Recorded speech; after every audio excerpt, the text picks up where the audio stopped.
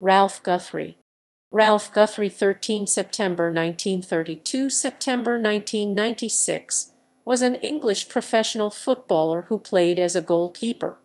Career Born in Hartlepool, Guthrie began his career in non-league football with Tow Law Town. He moved to Arsenal in December 1952 and made his debut in September 1954. He later played with Hartlepool's United before returning to non-league football with Horden Colliery Welfare. References